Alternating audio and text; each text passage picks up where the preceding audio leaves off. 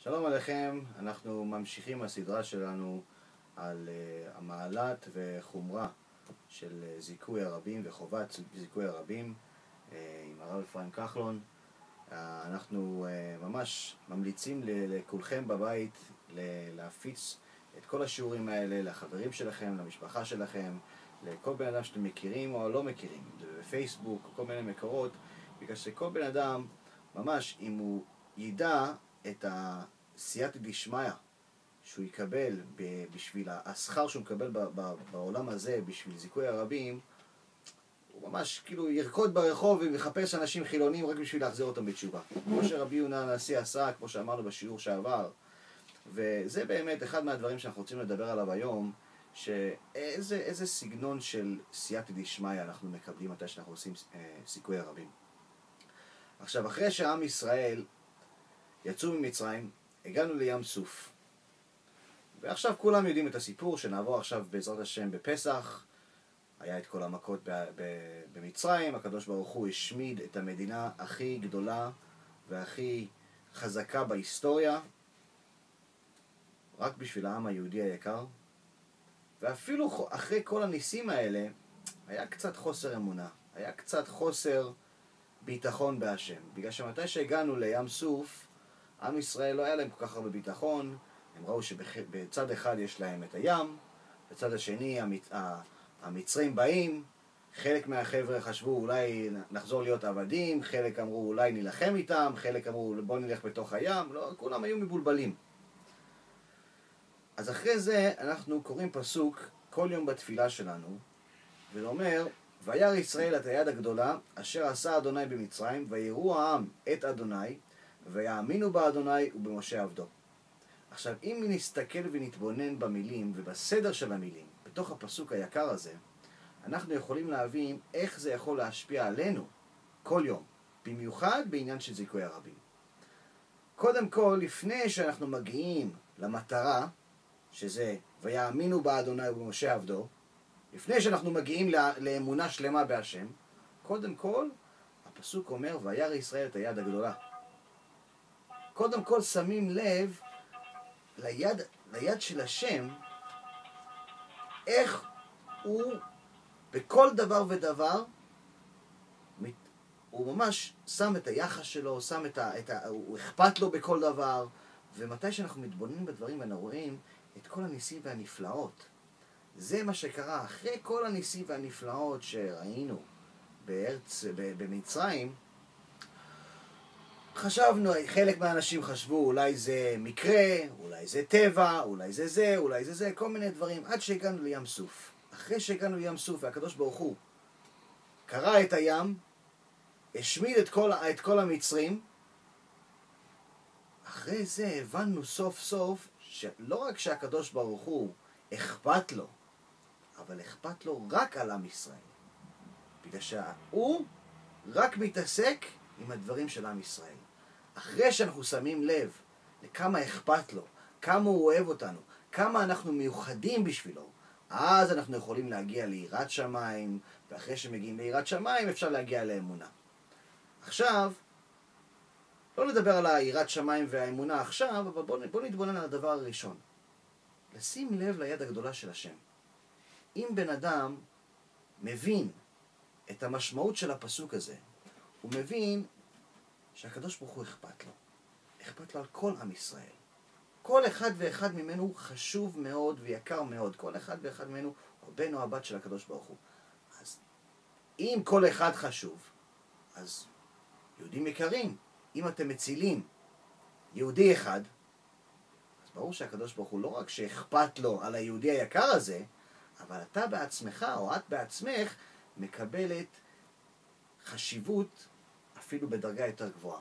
וזה מה שדיברנו בשיעור שעבר, שאמר בספר ירמיה, תהיה, אם בן אדם מחזיר, אה, בן אדם מזולל, כאילו בן אדם שחילוני כביכול, מחזיר אותו בתשובה, מחזיר את הבן של השם בחזרה, אז הקדוש ברוך הוא אומר, תהיה. אתה כבר ברמה גבוהה, אתה יש לך special deal. אתה ב-VIP, אתה לא כמו כולם. למה? בגלל שדאגת לבן שלי, דאגת לבת שלי. אז כבוד הרב, תסביר לנו עוד כמה וכמה דברים, איך הסייעתא דשמיא הזאת משפיעה על החיים שלנו כל יום. לא רק בסוף. בסוף, עולם הבא, קשה לאנשים להבין באמת מה זה עולם הבא. אין אפילו הרבה פרטים בתורה להסביר לנו את המשמעות של העולם הבא, בגלל שאין דבר כזה בעולם הזה.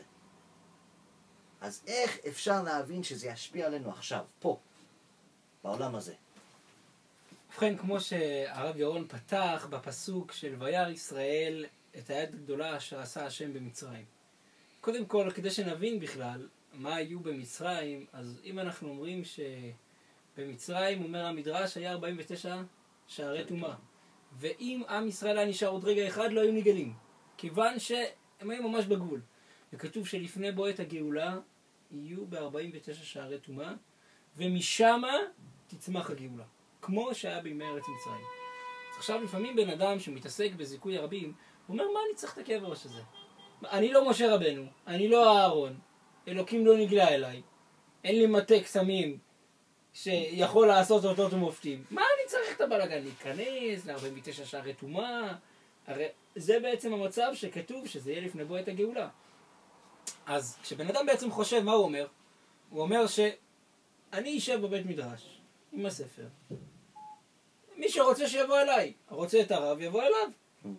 אבל מה לעשות? לצערנו הבורות היום היא ברמה מקסימלית שהקשר בין היהודי שברחוב או היהודי שנמצא בכל מקום אחר בעולם הוא כל כך רחוק, זה לא מרחק של קילומטרים, של פרסאות בלשון הגמרא, זה מרחק השקפתי שלא ניתן לחיבור בכלל. ולמה? כיוון שאותו בן אדם שנמצא ברחוב, הולך, מטייל, חוזר, נוסע, טס להודו, תאילנד, וול סטריט, מניות, מה עוד יש בחוץ? כל כך הרבה שטויות, אף פעם הוא, הוא לא חושב, רגע, אולי, אולי האברך הזה שם בבית מדרש, זה שאני רואה אותו לפעמים בשבת, אולי אה, אני אהיה כמוהו. למה שתהיה כמוהו?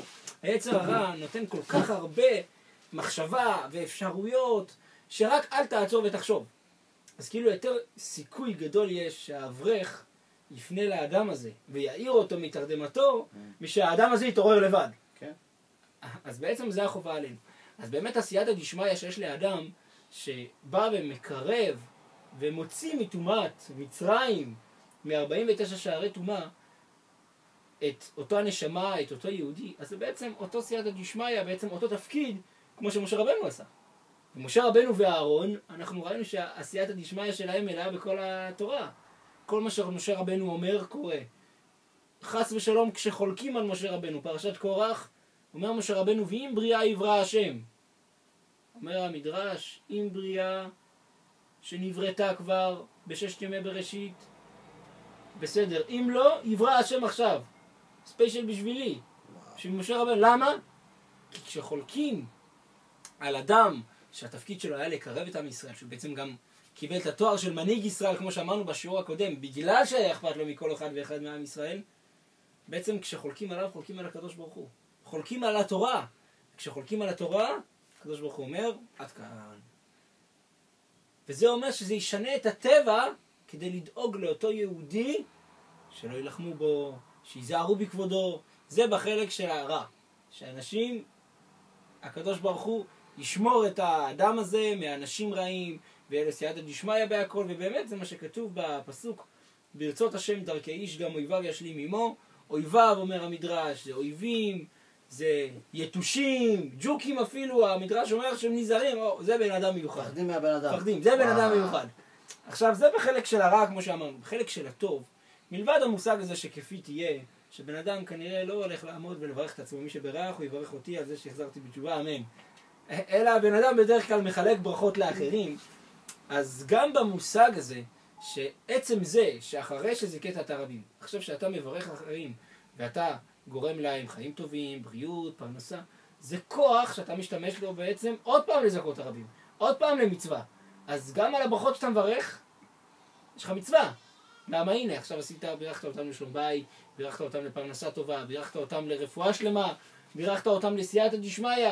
אז בעצם על ידי הברכות שלך, שזה בעצם היה כמו פרס בעבור חזרה בתשובה, התחלת עכשיו ועשית עוד דברים, וזה כמו מצווה גוררת מצווה.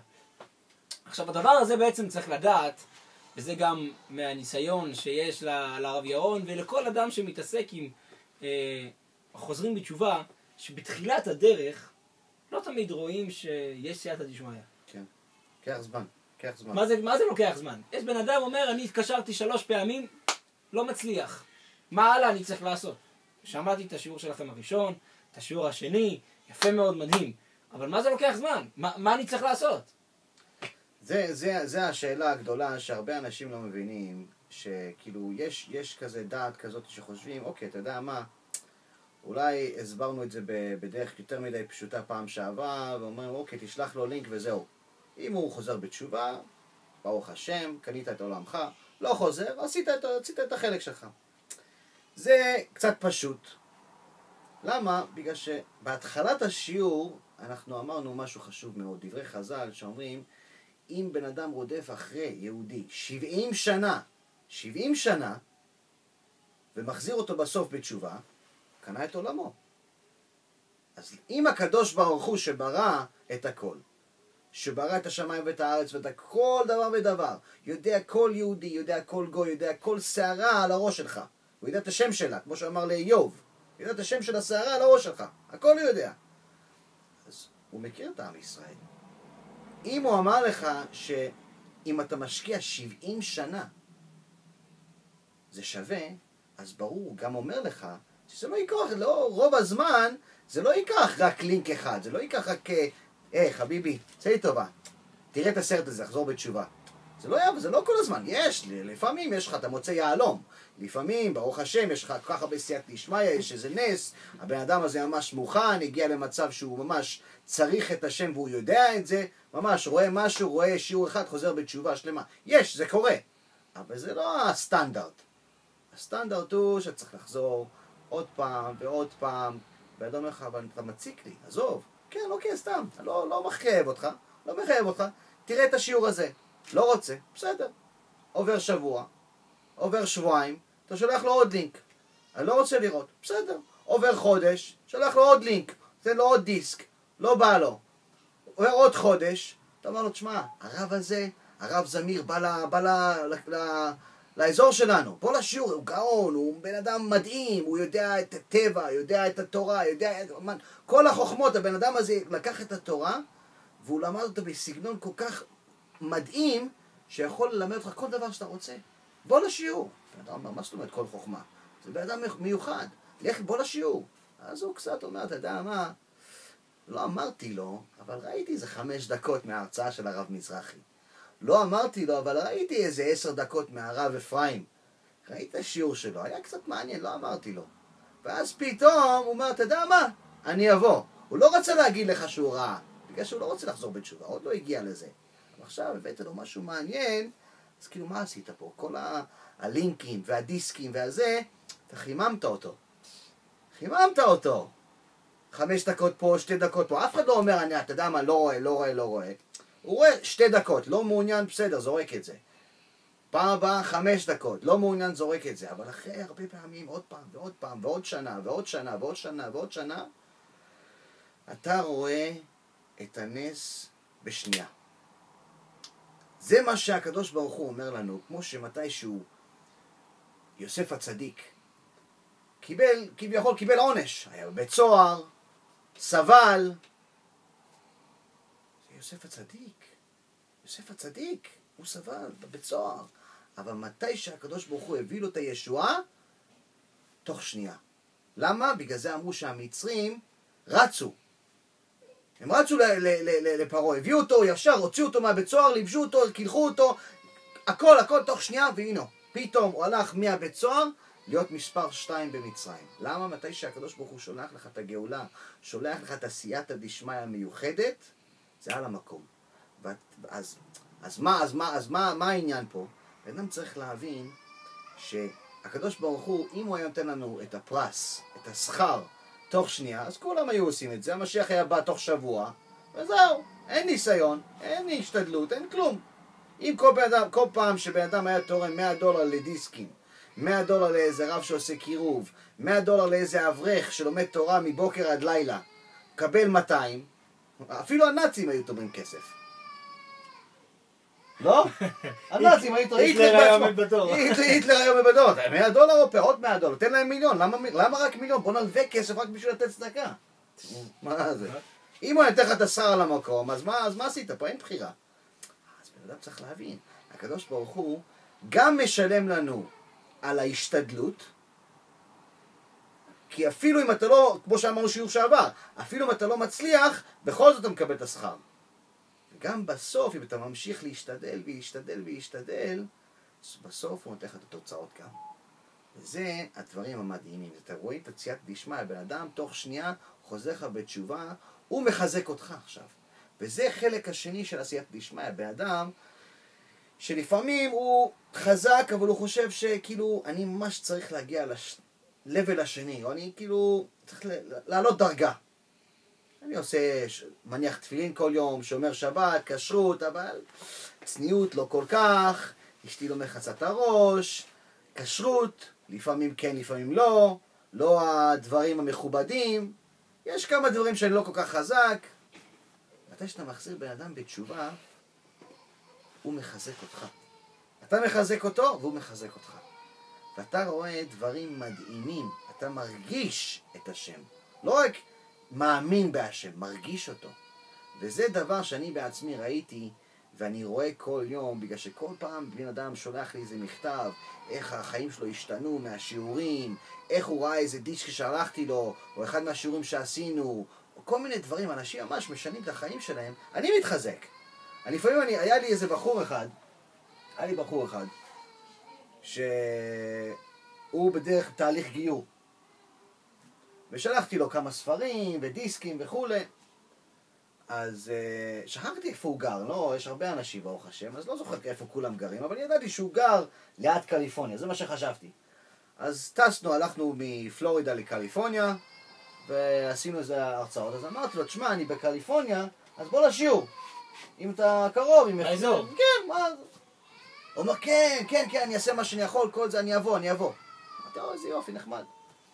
הבן אדם בא, אז היה לנו כמה, כמה דקות לפני השיעור, ודיברנו קצת, אמרתי, לא, אז איך היה...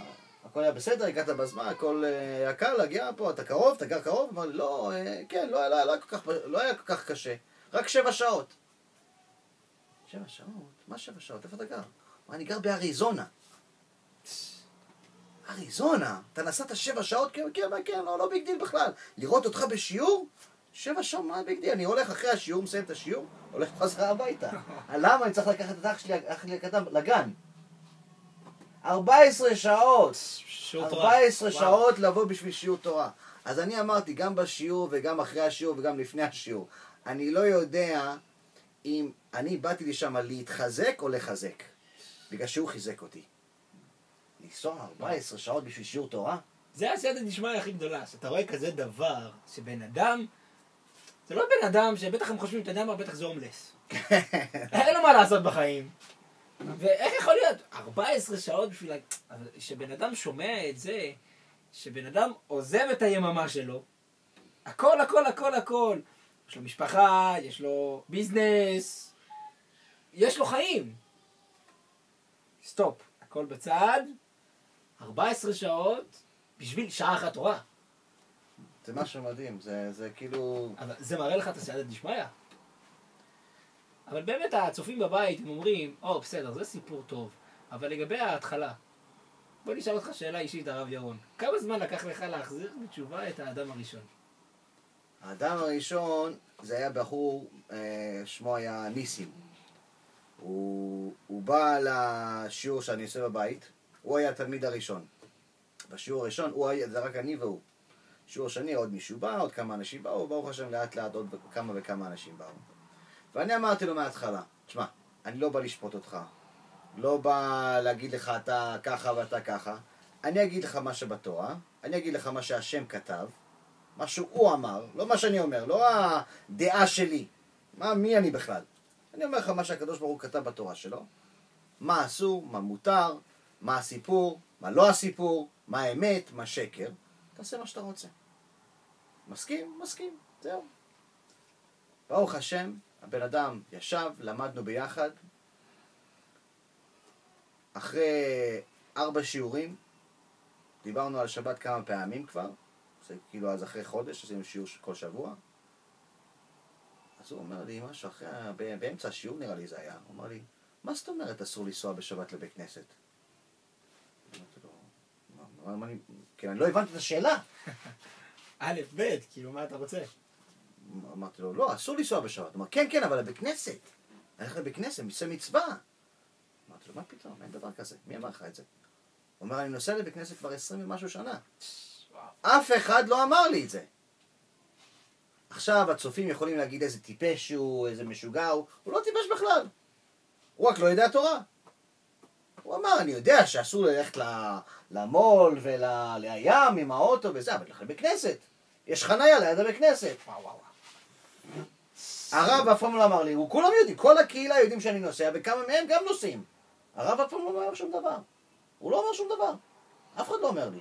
עשרים ומשהו שנה. אמרתי לו, ריבונו של עולם.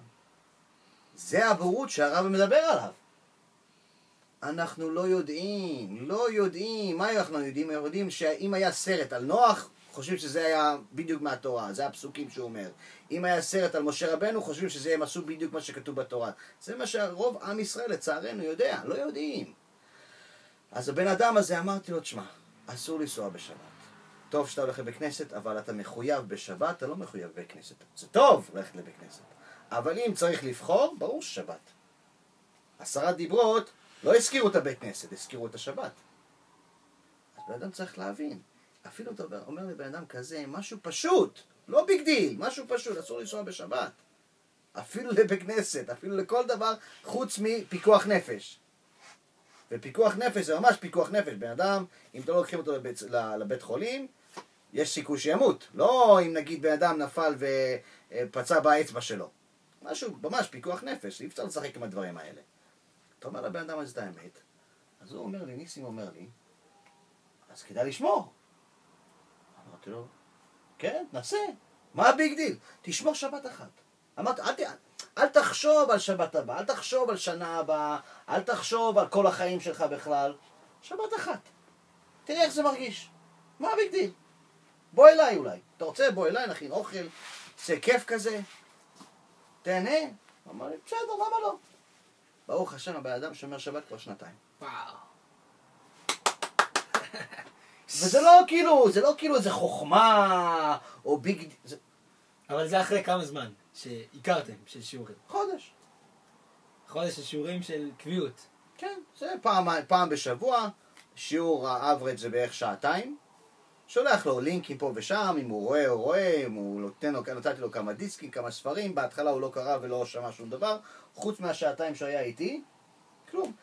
אבל אני אגיד לך את האמת, המשהו שכאילו הכי נגע בו, שהיה אכפת לי.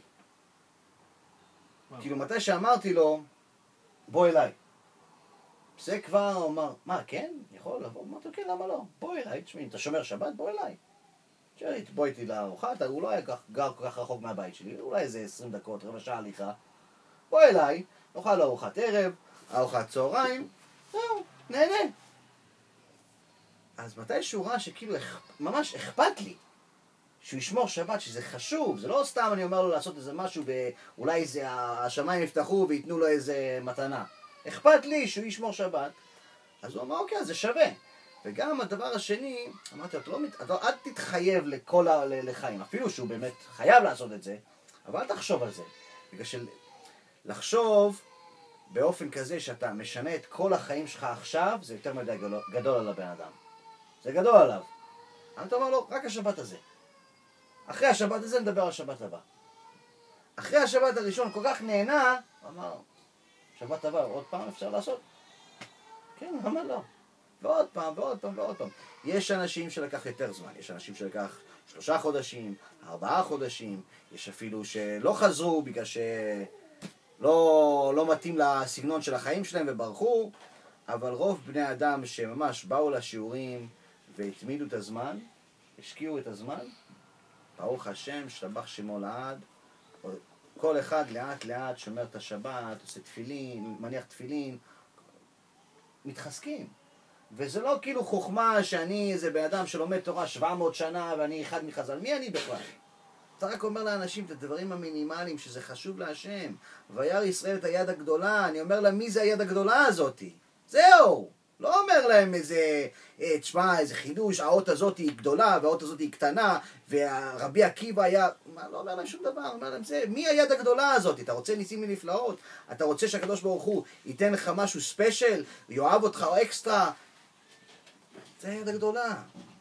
כל בן אדם מתפלל בשביל פרנסה, כל בן אדם מתפלל בשביל רפואה שלמה, כל בן אדם מתפלל בשביל זיווג, כל בן אדם מתפלל בשביל דברים טובים. הנה, זה הפטנט, זה היד הגדולה. תעשה את רצונו. אין סוף.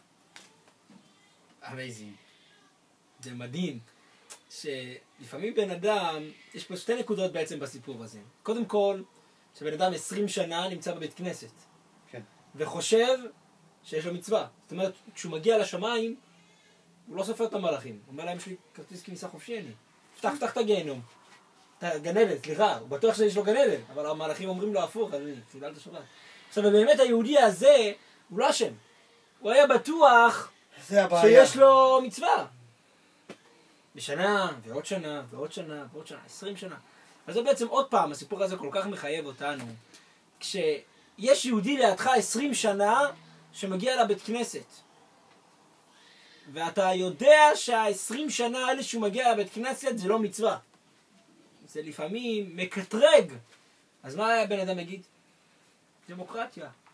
לא מתערב לו. כן. אני דמוקרטי, הוא יעשה משהו, הוא, לא, הוא פנה אליי, הוא דיבר איתי. הוא שאל אותי. כן, מה, מה אני, מה אני אתערב לו בחיים? למה הוא לא יודע? כן. אז באמת יש מדרש שעונה על זה. המדרש אומר דבר מבין. המדרש מספר שפעם אחת היה קבוצה של אנשים ששטה בים, כל בן אדם קנה חדר בספינה. יש ספינות גדולות, יש אלפים של חדרים, יש ספינות יותר קטנות, מאות חדרים, יש חדרים של כמה עשרות חדרים. זו הייתה ספינה גדולה. ספינה גדולה. בן אדם קנה, שילם את החדר, פתאום באמצע הלילה אנשים שומעים קידוח בחדר של הבן אדם. מגיע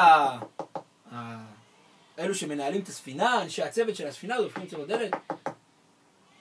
פותח את הדלת, כן, מה אתם צריכים? שמענו קולות של קידוח פה. כן, כן, אני פשוט צריך לעשות כמה חורים ברצפה של החדר. למה אתה צריך לעשות כמה חורים? אומר להם, אני רוצה לעשות לי פה איזה בריכה קטנה בחדר. משהו שלהשתכשך. אז במקום שאני אמלא בזה, עושה כמה חורים, אכנס קצת מים, והכל יהיה יותר... אמרתי, אתה נורמלי? מה הבעיה? זה חדר שלי, אני שילמתי. הכל שלי. זה לא כולל שירות? אמרו לו, מה, מה בריכה? לך למקום אחר על הבריכה. מה? תקפוץ לים, מה אתה רוצה? הוא לא הבין אותם. אמר להם, אל תפריעו לי, נעלת את זה, תמשיך לעשות חורים. המשיך לעשות חורים, דפקו בדלת, לא פתח. הסוף של הסיפור, שהם פרצו את הדלת, תפסו אותו, קשרו אותו עד סוף ההפלגה, ואל תשתולל. למה? כי כשאתה עושה חור בספינה שלך, כל הספינה טובה. עכשיו, אם הם היו נחמדים, הם אומרים לו דמוקרטיה. אתה בשלך, אנחנו בשלנו. אין בעיה, אתה רוצה לעשות חורים? סבבה, קח. בוא נעזור לך. קח, קח פטיש, מה אתה צריך? למה לא? נעזור לך. מנומסים. כן, והוא היה קודח, וקודח, וקודח, עד שכולם היו מתים. צריכים לדעת שכולנו נמצאים בתוך ספינה אחת. כל עם ישראל ערבים זה לזה. זה בעצם כשבן אדם קודח שם בשבת, נוסע, מעשן, אוכל לא כשר, אישה לא שומרת כש- אה, טהרה, או כל דבר אחר, זה לא שאתה עכשיו, לא נעים, אני לא אתערב לו. זה כמו שהרב ירון אמר, תהיה קצת נודניק. הרי אם למשל הוא היה חייב לך כסף, עכשיו בן אדם הלווית לו 100 אלף שקל, בסדר? והוא אמר לך שהוא יחזיר לך את זה תוך שנה. עבר שנה והוא לא שילם. מה קורה? עוד פעם ועוד פעם, ותובע אותו, ו... דמוקרטיה? מה, אני אתערב לו? זאת. אומרת שהכסף שלך, אתה יודע מה, גם לא 100 אלף שקל. 100 שקל, 100 דולר. בן אדם מלווה ממך, אמר לך, אני אחזיר לך את זה תוך יומיים. והוא לא מחזיר לך, אתה מתקשר אליו, אתה, אתה רואה אותו ברחוב, אתה זורק לו, נו מה עם ה-100 דולר שלי, שכחת? מה אתה... למה? כי אכפת לך מהכסף. אכפת כן. לך מה-100 דולר. מה, הוא עבד עליי? גם האגו שלך, מה, הוא כאילו גנב ממני? אז רגע, כסף אכפת לך, האגו שלך גם חשוב, בסדר. אבל מה עם כבוד בורא עולם? מה עם הידיעה הזאת שאותו יהודי, שאתה רואה אותו וכל בוקר אומר לו בוקר טוב, שלום וברכה, צהריים טובים, שבת שלום, לא משנה מה. הוא עלול להיכנס לשאול תחתית בזכותך. למה? כי אתה ידעת ומנעת את עצמך בגלל אי נעימות. כמה הוא ישנא אותך, אותו יהודי, ישנא אותך בשנאת מוות אחרי שהוא ידע מה מנעת ממנו. זה, זה, אם בן אדם ממש מתבונן בדברים וחושב על זה אפילו בשביל... רגע, רגע. זה ממש אכזרי. ודאי. הבן אדם, החבר שלך, היקר הזה, אח שלך, אחות שלך, דוד, דודה, אבא, אימא, בן שלך, הוא... אתה יודע שהיד הגדולה, השם יתברך, שהפסוק הזה, זה אמת. יודעים שזה אמת, אין ספק, כל הכל על אמת. אפילו האתאיסטים יודעים שאין דבר כזה באמת, שאין כלום. הם רק לא רוצים לעשות שום דבר. בן אדם ממש משוגע כזה שחושב שהכל בא מפיצוץ, זה אולי צריכים לשלוח אותו לאברבנאל. אבל בן אדם עם קצת שכל, יודע שיש creator, יש בורא. אז אם אתה יודע, לא רק שיש בורא, אבל הבורא הזה נתן לנו הוראות, וזה התורה. ואתה יודע שיש שכר ויש עונש. זה אחד, זה אחד מהדברים העיקריים, 13 הדברים העיקריים שכל יהודי חייב לחזור עליהם כל יום. כל יום! אין דבר כזה אני לא ידעתי. אם אתה קורא לעצמך, יהוד, לעצמך יהודי, אתה חייב להאמין ולחזור על זה כל יום שאתה יודע שיש שכר ויש עונש. אז אם אתה יודע את זה, ואתה יודע שהחשוב הזה, הבן הזה, הבת הזאתי, הוא בצד של העונש, ואתה לא אומר לו כלום, זה ממש אכזרי. אתה, אתה יודע, אתה, אתה למדת על גיהנום, אתה למדת על העונש, אתה קראת את פרשת בחוקותיי, את פרשת כי תבוא, מה הקדוש ברוך הוא אומר לאנשים האלה שלא שומרים מצוות? תקרא את זה, תקראו את זה, זה, זה פרשת שבוע, תקראו את זה עם רש"י קצת, קצת, אפילו רק ההבנה פש, פשוטה, לא את המדרשים וזה. פשוטה, פשוטה מה הקדוש ברוך הוא אומר על בן אדם שלא שומר שבת, השם ירחם. מה השם אומר על בן אדם שגונב? מה השם אומר על בן אדם שהולך נגדו? הוא מחשיב את הבן אדם הזה אויב, אויב. סוף פרשת ויתחנן, אומר, האויבים שלי. מי זה האויבים שלי? אלה שלא שומרים מצוות. לא אלה שעושים אה, ארגון גדול, גם אלה נגד השם, זה חס ושלום, אבל גם אלה אויבים, אבל אפילו הבן אדם שלא שומר שבת, הולך לים במקום ללכת לבית כנסת, הולך אה, לבר, הוא גם נחשב אויב. ואתה יודע את זה? ואתה יודע שיש עונש? ואתה לא אומר לו? זה אכזרי. ובגלל זה, הרב לימד אותנו שבוע שעבר, מהשיעור שעבר שהיה לנו, אתה לוקח חלק מהעונש. ומה אם לא נעים? לא נעים. מה, הוא יגיד שאני פנאט? מה, אתה מתערב לי בחיים? מה עם זה? הרב מלובביץ', הוא אמר סיפור ממש נחמד, פעם אחת. הוא אמר שאם היה לך, נראה לי אמרנו את זה באחד מהשיעורים, אבל זה סיפור שחייבים לחזור עליו בגלל שזה עונה לשאלה הזאת בדרך יפה מאוד. אם היה לך איזה חבר, בא אליך, אמר לך, תשמע, אני צריך לישון, אל תפריע לי. אם מישהו מתקשר, תגיד להם, אני עסוק, לא חשוב מה יקרה, אני עייף, עייף מת, תעשה לי טובה, אל תפריע לי. אל תתערב לי בעסקים. אתה אומר לו, מה אכפת לי מהעסקים שלך וזה, מה, מי אני, מי אתה בכלל?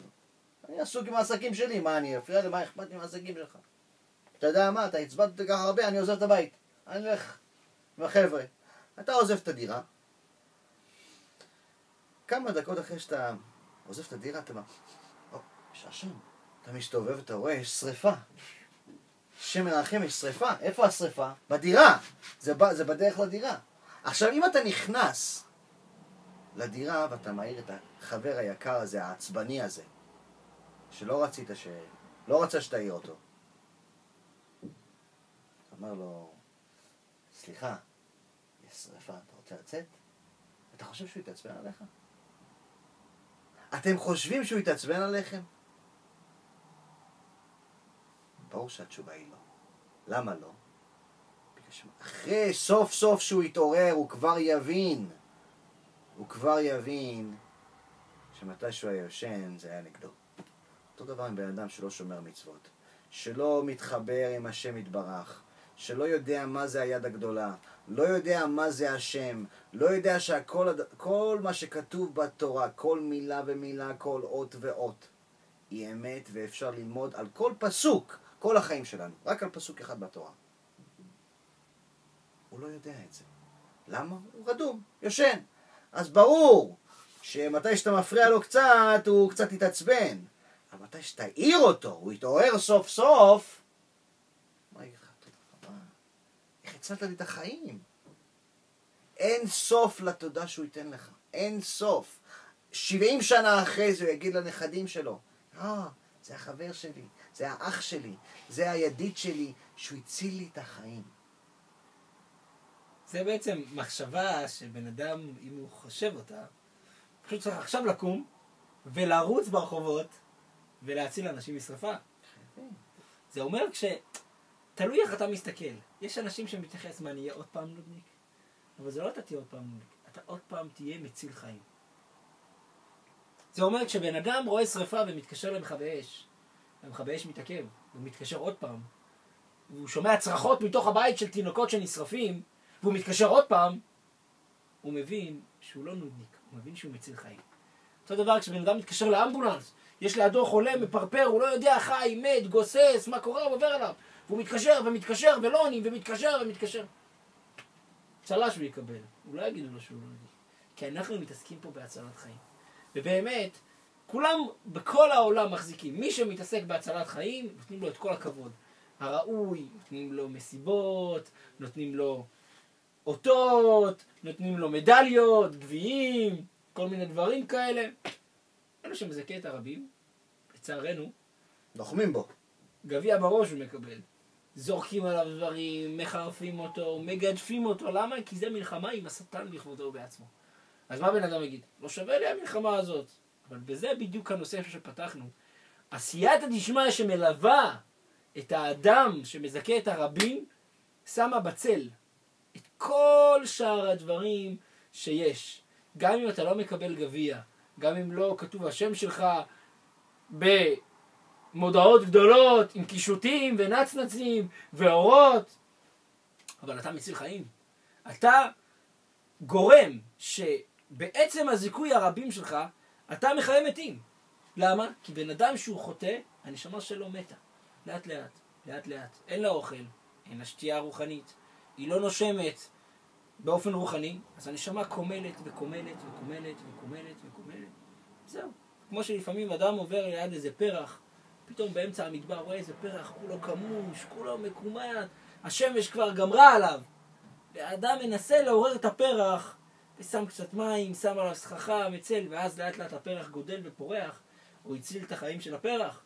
אותו דבר, ככה בחיים, כשאדם רואה נשמה קומלת, מבחוץ הוא יכול לראות, כן, סחבק עם החבר'ה, צוחק, הולך, עושה, אבל כשהוא בא ובעצם מציל את החיים, המדרש אומר, כל המציל נפש אחת מישראל כאילו הציל עולם מלא.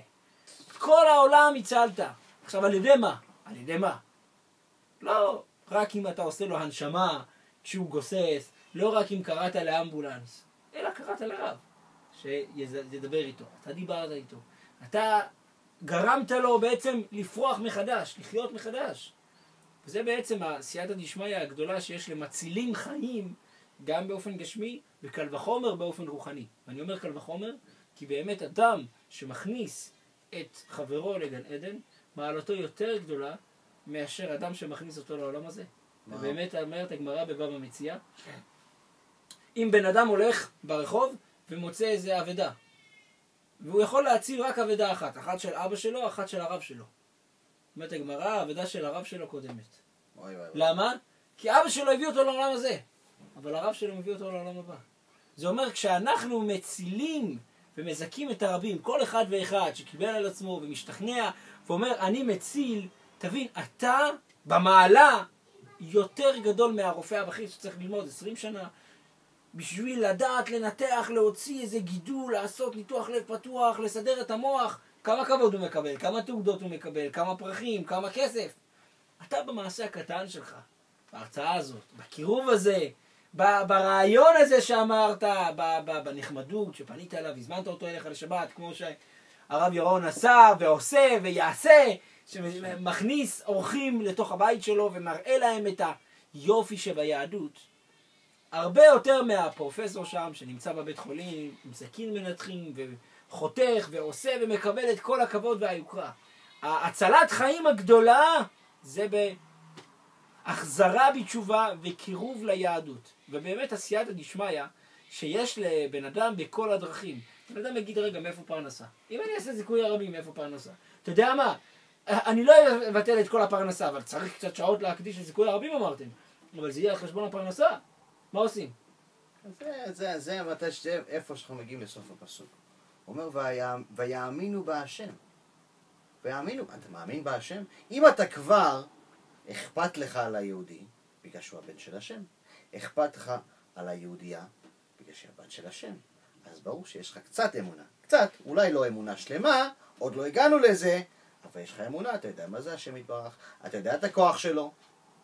אז זהו. אז תחשוב לעצמך באופן הגיוני. אם היה איזה אבא, אבא עשיר מאוד, אבא הכי עשיר בעולם, הכי עשיר בהיסטוריה, אין כמוהו. נאבד לו אחד מהבנים שלו. היה לו הרבה בנים, אחד מהבן הכי יקר שלו, נאבד. הוא שולח טקסטים לכולם, כתבות בעיתון, אה, באינטרנט, כל, הכל, הוא ישלם כל מה ש... אין, אין, אין, הוא חייב למצוא את הבן שלו, הבן היקר שלו. אתה יום אחד רואה את ההודעה, מה זה? מסתכל הילד, או, הבן שלי, זה, הוא, זה הבן שלו. אתה אומר, בוא, בוא, בוא חמודי, בוא ניקח אותך לאבא. אתה מביא אותו לאבא, אז תגיד לי, האבא הזה, העשיר הזה, הגדול הזה, החשוב הזה, שפרסם בכל העולם על הבן היקר שלו, אתה חושב שייתן לך סטירה או משהו כזה? אתה חושב שהוא יכאיב לך? אתה חושב שהוא יעשה משהו לא טוב לך? ו- ויקפיד עליך ויעשה לך בעיות עם הפרנסה? רק באופן הגיוני, זה לא צריכים אפילו לה, להבין ולדעת את כל הסוגיות בתורה, זה רק באופן הגיוני. האבא הזה, אדרבה, הפוך, ייתן לך את הכל. אתה נהיה הבן שלו עכשיו. הבן המיוחד, הבן המיוחד. אז זה מה שבן אדם חייב להבין. מתי שאתה אומר, יש לי אמונה בהשם, אי אפשר להגיד, יש לי אמונה בהשם רק מתי שיהיה מצב טוב. יש לי אמונה בהשם, מתי שאתה אומר, אמן, אתה אומר, אל מלך נאמן. ראשי תיבות, אל מלך נאמן. מה זאת אומרת אל מלך נאמן? אל מלך נאמן זה מתי שהקדוש ברוך הוא אומר משהו, הוא מקיים אותו. אז אם אתה מחזיר לו אחד מהבנים או הבנות היקרים שלו, אז ברור שהוא נאמן. הוא ייתן לך את השכר. הוא לא יגיד לך, לא, לא, לא, לא, תביא, תביא את הבנים, אבל אתה תהיה הומלס. אז איך אתה תחזיר את הבנים שלו בתשובה אם אתה הומלס? הפוך. אה, אתה החזרת את הבן שלי? אתה יכול להחזיר עוד אחד? עוד... מה אתה צריך? אני צריך קצת כסף. או, קח, קח, קח מה שאתה רוצה. תביא עוד, תביא עוד. בן אדם מביא לך יהלומים כל יום, אתה אומר לו, או, אפשר להביא עוד? כן. מה אתה צריך? צריך קצת כסף, צריך קצת פרנסה, צריך קצת שלום בית, צריך קצת דברים טובים. לחיות בעולם הזה, למה לא? וזה באמת, נחזור למה שהרב אמר על העניין של הכבוד שאנשים שמצילים את הגוף של האדם מקבלים, נגד האנשים שמחזירים אנשים בתשובה מצילים את הנשמה. יש כמה וכמה סיפורים באמריקה שעברו בשנים, בשנים האחרונות, שאיזה בן אדם הציל מישהו שנפל ברכבת, עשו עליו כתבה, שמו בחדשות, כותבים עליו ספר. הרבה הרבה כבוד. רב גדול שהחזיר 100 אלף, 150 אלף יהודים בתשובה, לא מפסיקים לחפש, לחפש ולדקדק בכל דבר ודבר ולראות איפה אפשר להפיל אותו. איך זה? איך זה יכול להיות? אחד מהדברים שאנחנו נתחיל וניתן לרב להשלים את כל הדבר הזה, זה המחשבה היא שהיצרה אומר, או, oh, אתה החזרת את הגוף שלו? או, oh, זה הפועל שלי. תודה רבה. בוא ניתן לו כבוד בגלל שאתה עזרת לי, למפעל שלי, של ה, של ה, הוא, זה בן אדם שחוטא, זה בן אדם שעושה עבירות, הוא פרויקט שלי. אז בטח שאני אתן לו כבוד ותודה רבה. זה הגוף. זה, זה הגוף. זה שמחזיר את הנשמה, היצר אומר, מה? אתה גונב לי את הפועלים שלי? זה פועל אקסקלוסיבי, כבר 30 שנה עובד בשבילי, אתה לוקח אותי לוק... ומחזיר אותו לאבא שלו? מה, אתה רציני? לא, אני אלך נגדך. וזה אחד מהדברים שגם, באופן הגיוני, צריכים להבין את זה. ברור שיהיה בעיות והפרעות, אבל כל עוד שאנחנו מאמינים באבא בשמיים, האבא האמיתי, אנחנו מבינים שבסוף הכל יהיה טוב, הכל יסתדר, הכל ביד של השם הגדולה, וזהו. אבל בן אדם צריך להבין שיהיה הפרעות.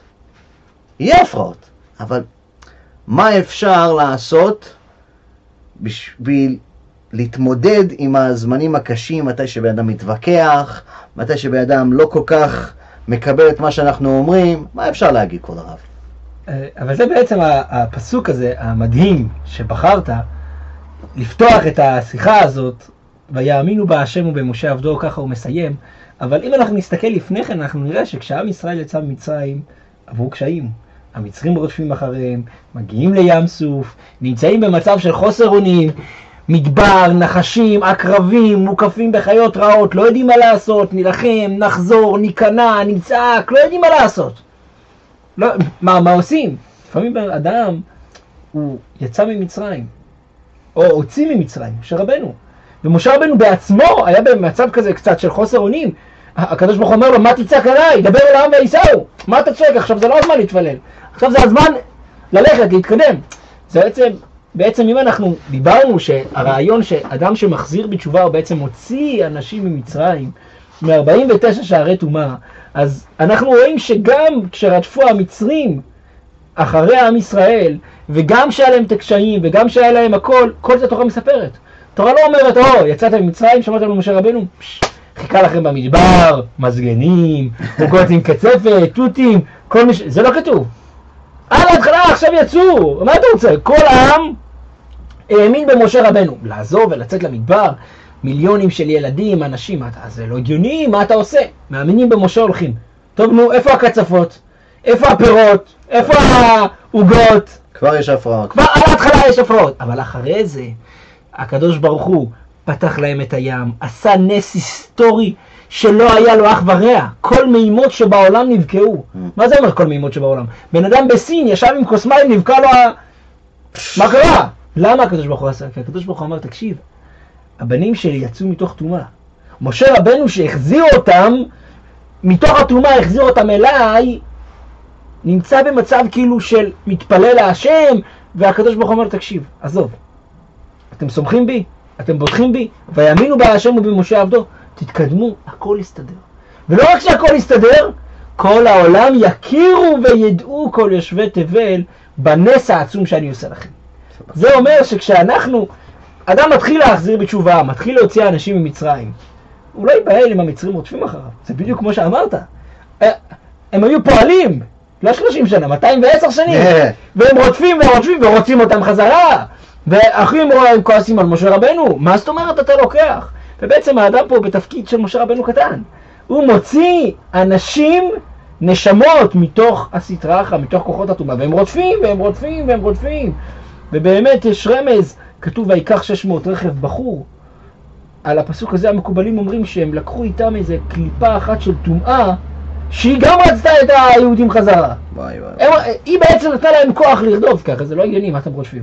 עשר מכות הוציאו לכם את הנשמה. ועד בכלל, לא נשאר להם כלום. ובכל זאת. דם, מה אתם מוציאים? הכוח של הטומאה אמר, יש לי פה מיליונים של אנשים שהיו עבדים שלי 210 שנים, לא עבדים פיזיים. הרי עם ישראל במצרים ירדו ל-49 שערי טומאה, עבדו עבודה זרה, היו, היו ברמה... אז הקליפה הזאת רדפה, רדפה, רדפה אחריהם, והיא בעצם נתנה כוח למצרים, שהם היו הפועלים של אותו כוח טומאה, להחזיר את עם ישראל למצרים. באים עם ישראל ונכנסים במצב הזה, במצוקה הזאת. בהשוואה אלינו זה בעצם האדם שמחזיר בתשובה עם שאר האנשים שחוזרים בתשובה ופתאום רואים ניסיונות, פתאום רואים קשיים, מה חלק אמרו? בואו נחזור למצרים, נחזור בשאלה.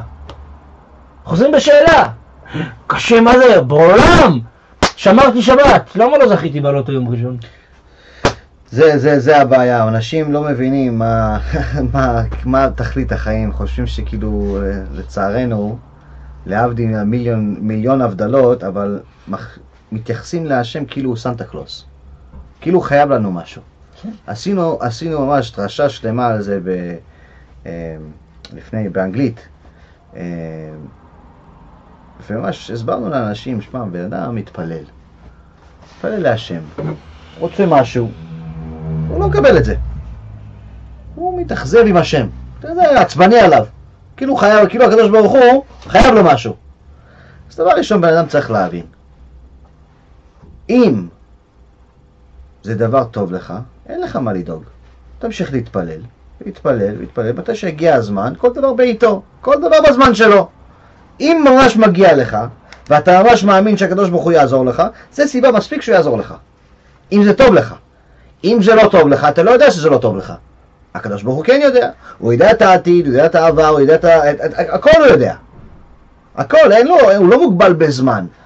אז כמו ששלמה המלך, הוא ביקש מהשם שלא יענה לתפילות שלנו שזה בשביל דבר שיש לו תוצאות לא טובות. אז אם אתה מתפלל בשביל כסף, נגיד, הבן אדם רוצה להיות מיליארדר, והקדוש ברוך הוא אומר, לס... הבן אדם הזה, המיוחד הזה, יש לו תאווה של כסף, והוא לא יכול לשלוט על עצמו. לא יכול. זה אם בן אדם, בן אדם יש לו בסיס נורמלי, חיים בסדר, צדיק. אתה נותן לו כמה מיליוני דולרים, נהיה שם מרחם, נהיה עשיו. אז, אז הקדוש ברוך הוא לא ייתן לו. הוא לא יכול לעמוד בטסט. הקדוש ברוך הוא לא, לא רוצה לתת לך טסט בכוונה שהוא יודע בוודאות שאין לך סיכוי לעמוד בו. אז לפעמים אנחנו לא מקבלים מה, ש... מה שאנחנו רוצים, בגלל שהקדוש ברוך הוא יודע שזה לא טוב לנו. אבל מה תקבל אם תאמין שהכל בידיים של השם, אז תוך כדי זמן, או שהתפילה שלך תתגשם, ואתה תראה את התוצאות הטובות, או שתקבל תשובה מהשם למה לא קיבלת. למה הדבר שחשבת שהוא טוב, הוא לא טוב. וזה באמת מה שאנחנו עברנו בעצמנו בסיפור האישי, שהיינו חולים, ועם הרבה, הרבה הפסדים של כסף, והרבה רופאים, יותר מ-50 רופאים, צריכים, מנסים להבין למה הבן אדם הזה הלך מבן אדם בן 26 בריא, עשיר והכל טוב ויפה, לבן אדם שגוסס. גוסס, לא, לא, לא יכול לעמוד בלי לצעוק, לצרוח, וכאבים 24 שעות ביממה. ולא בשביל יום, יומיים, שבע שנים. בזמנים האלה, בכינו להשם, למה זה קורה, למה מפסידים, למה זה, למה, למה, למה, למה. לא הבנו שכל מה שקרה זה הדבר הכי טוב בעולם שקרה לנו. לא הבנו, עכשיו מבינים. אז תוך כדי זמן, אנחנו פעם ביקשנו מהשם, הקדוש ברוך הוא, תן לנו את הכסף בחזרה. בבקשה, צריכים את הכסף, את הכסף, את הכסף, את הכסף, וגם רפואה שלמה גם טוב. תוך כדי זמן, הקדוש ברוך הוא ענה לנו. כסף אתה לא צריך, אל תדאג, אני אשלם לך את הבילים שלך, את התשלומים שלך, אל תדאג. הכל יהיה בסדר, כל שבוע, כל חודש, יהיה נס חדש, אל תדאג. תיתן, תיתן סיפור לקהל בבית. תיתן סיפור מה זה על ניסים של סייעתא דשמיא. הרי אתה, ברוך השם, עוסק רק בזיכוי הרבים מהבוקר עד הערב, עם אשתך הרבנית שתחיה, ש... תומכת ומסייעת, שתהיה בריאה, והיא לא, גם היא, יושבת, עקרת בית, מגדלת את ה... את הבת, בעזרת השם, בנים ובנות בעזרת השם. עכשיו, אז בן אדם אומר, רגע, אז מה אתה, מאיפה אתה מתפרנס? מה, אתה גונב אולי? אתה, אתה, יש, יש לך מניות אולי עדיין בוול סטריט מהעבר? הכל, הכל הלך. איזה, איזה סיפור יש לך לספר מהניסיון האישי שלך על סייעתא דשמיא, שזה בעצם הנושא של השיעור שלנו, על, על החיים, על היום-יום, לאכול, לשתות, דירה, מה עושים? היה איזה בחור אחד שבא אליי, אמר לי כמה, נתן לי הצעות שרוצה שאני אשקיע בעסק שלו. בזמנים האלה היה לי מיליוני דולרים ומה שהוא רצה זה היה יחסית כסף קטן. רצה אולי איזה מ-50 עד 150 אלף דולר בשביל איזה עסק וכולי וכולי. אמרתי לו, כן, תשמע, זה רעיון נחמד. תן לי את זה על... תן לי את הדברים, את הפרטים, מה אתה רוצה, מה זה, מה זה. אין לי בעיה, יש את הכסף, הכסף כבר מוכן. בסדר.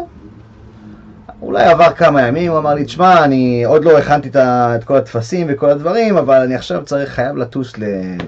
לארץ, ונלך לחתונה של אה, אחות שלי, ואני כזה בצער כזה, בגלל שאין לי כסף מספיק בשביל החתונה שלה, בשביל ה...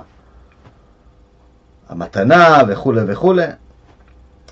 אז uh, הבנתי, מאמינים, בן אדם לא אומר את הסיפור הזה בגלל שאני אנחם אותו, או אוקיי, הכל יהיה בסדר. לא מבקש ממני. אמרת, מה, מה אתה צריך? הוא אומר, אתה יכול להלוות לי 5,000 דולר? אז אוקיי, לא, אני חושב לעצמי, אני אשקיע 50, 150 אלף דולר מינימום עם הבחור הזה עוד אולי כמה שבועות. מה זה 5,000 דולר? במיוחד, בן אדם מצטער, מסכן, לא מרגיש טוב, בסדר, קח. על המקום, נתתי לו צ'ק 5,000 דולר. בחור נעלם. לא התקשר, לא כתב, כלום. טלפון לא עובד יותר, נעלם. לא שבוע, שבועיים, שנים. עברנו את כל מה שעברנו בעניין של הבריאות, עברנו כל מה שעברנו בעניין של ההפסדים בעסק, ברוך השם, כבר שכחנו על, הס... על, ה... על, ה... על הסיפור הזה. אולי עבר, אני חושב אולי איזה עשר שנים. כבר התחלנו להתעסק בעניין של הזיכוי הרבים, ברוך השם למדנו תורה, והתחלנו לחזק אנשים, לשלוח להם דיסקים וכל מה שאפשר. יום אחד, עוד היינו גרים בניו יורק, אני אה, שואל את אשתי, יש לנו כמה חובות, כמה דברים שהם כאילו, אני יודע שיש כמה דברים, דברים שהם אה, בעיות, זה מה שאתה חייב לפתור את זה עכשיו. כמה אנחנו צריכים בשביל, בשביל לפתור את הבעיות האלה שהם כאילו בשביל עכשיו? היא אומרת לי, אנחנו צריכים 6,000 דולר. אבל ה-6,000 דולר הזה, אנחנו צריכים אותו ביום שישי. יהיה יום שלישי. יש לנו כמה ימים להשיג 6,000 דולר. מאיפה אתה משיג 6,000 דולר? הביזנס נפל, הפרנסה נעלמה, לא היה פרנסה, לא היה עבודה, לא היה קליינטים, לא היה שום דבר. אין. לא מניות, אין. אמרת בעזרת השם. לא עבר שעה ממה שהיא אמרה לי, אני מקבל טלפון ממספר מוזר. לא מכיר אותו, אין לי את זה בטלפון. אני עונה, שלום, עניתי באנגלית, כאשר באמריקה. היי, מה נשמע אחי, מה שלומך? מי אחי, מי זה? אני, כרגיל, בזמנים האלה לא הייתי כל כך עם, uh, מתחבר עם ישראלים. הבחור הזה ישראלי, הוא אומר לי, תשמע, מה שלומך? הרבה זמן אני מנסה להשיג אותך. אני אומר, סליחה, אני לא יודע, מי אתה? מי זה? לא, זה כך וכך. אני uh, חושב עליך כל שנה, ואיך שלא החזרתי לך את הכסף. אתה חייב... אז אמרתי לו, אני כבר לא מאמין, הוא אומר לי את השם שלו, שכחתי על הבן אדם הזה בכלל, עשר שנים עברו, מי, זה, זה כבר, הפסדתי מיליונים כבר, אני חושב בכלל על החמש אלף דולר הזה. הוא אומר לי, תשמע, אני רואה מה שאתה עושה, ראיתי בשיעורים, אתה רואה איך אתה מפיץ תורה באינטרנט וזה, אני מתחזק מזה, ואני אני, עכשיו, ת, תביא לי את החשבון בנק שלך, אני הולך לבנק עכשיו. אמרתי לו, מה? רגע, תביא, תצא לי טקסט עם החשבון בנק שלך. כן, בסדר. שלחתי לו טקסט, סגרנו את הטלפון, אולי עבר איזה חצי שעה, הוא אומר לי, סגור, הכנסתי לך את הכסף בבנק. וגם הוספתי לך מתנה ממני שיעזור לך בזיכוי הריבים שאתה עושה. עוד אלף דולר, חמש אלף דולר שאני חייב לך מלפני עשר שנים, ואלף דולר, בגלל שלא לוקחים ריבית חס ושלום, אלף דולר נותן לך מתנה בגלל שאני יודע שכל הדברים שאתה עושה זה עולה כסף. קח, זה מתנה ממני. הבן אדם מסתכל על הדברים. אין לי את המספר טלפון שלו. לא שמרנו קשר בכלל. מאיפה הוא ידע בכלל שאני צריך כסף? מאיפה הוא ידע... מאיפה הוא ידע כלום? אם בן אדם לא מאמין בהשם אחרי שהוא שומע סיפור כזה, ואני אומר לכם, זה סיפור אישי, זה, זה, זה, זה לא המצאתי את זה עכשיו, רק שתדעו, שום דבר שאנחנו אומרים לא מוכן. ברוך השם שפתחתי את הספר, פתחתי אותו בפסוק הזה, זה לא התכוננו, הכל סייעתא דשמיא. אין, אין הכנות, זה מתי שבן אדם, כמו שלמדנו מהרב, בן אדם מוציא דברים מהלב, זה נכנס ללב. מתי שבן אדם מוציא מהלב, הקדוש ברוך הוא נותן לו את עשייתא דשמיא, נותן לו את מה להגיד, דברים להגיד. את ה, כל הניסים והנפלאות האלה זה כל יום. כל יום יש נס. בן אדם רוצה סיפורים של ניסים, תתקשר אליי. תתקשר, אני אגיד לך נס כל יום, כל יום יש ניסים. תתקשר לרב אפרים, כל יום יש ניסים. רק צריך בן אדם, התחלת הפסוק. וירא ישראל את היד הגדולה. יא, תסתכל, שים לב, אתה רואה ניסים. תסתכל במראה, אתה רואה נס. תסתכל בחיים שלך, אתה רואה ניסים. יש ניסים בלי סוף. ניסים כאלה עם פרנסה? אין סוף, אני יכול להגיד, כל חודש זה נש, בגלל שאני לא עובד, הרב לא עובד. אבל ברוך השם, יש אוכל, יש בית, יש מה שצריכים. לא חיים באושר עם מיליוני דולרים כמו שהיה פעם, אבל לא צריך.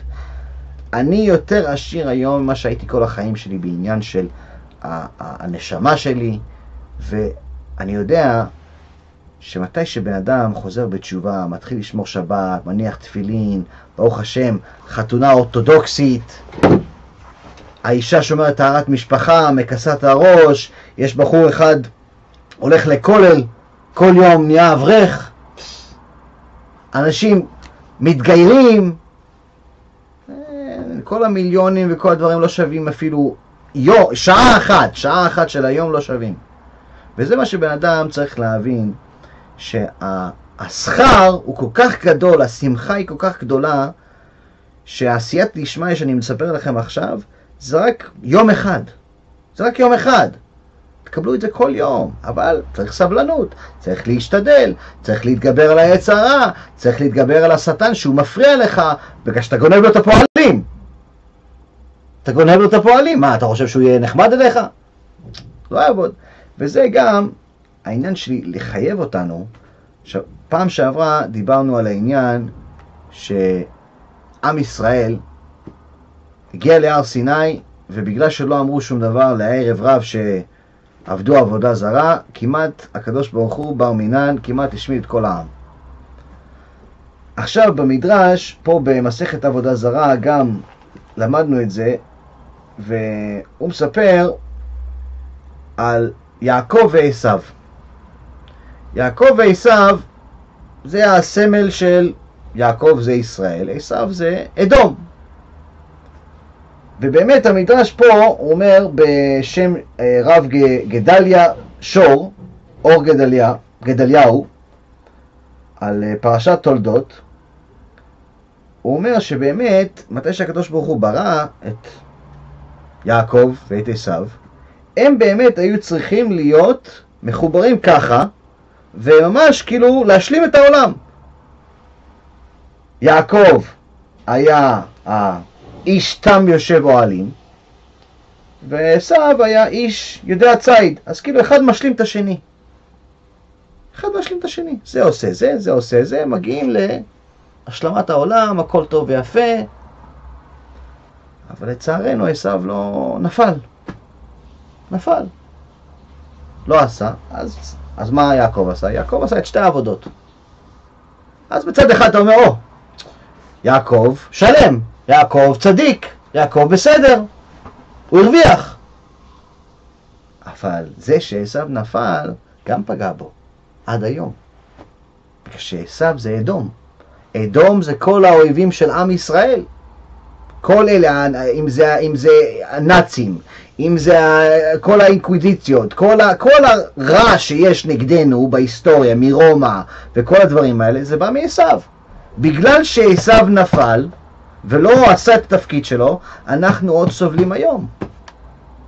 אז אסור לנו להמשיך בדרך הזאת ולתת לחילונים להישאר חילונים, לתת לאתאיסטים להישאר ככה, לתת לאלה שלא אכפת להם מהשם להישאר ככה, לתת לאלה שהם באמת לא כל כך שומרים, אבל נראים שהם שומרים להישאר ככה. חייבים לחזק את כולנו, את כל עם ישראל.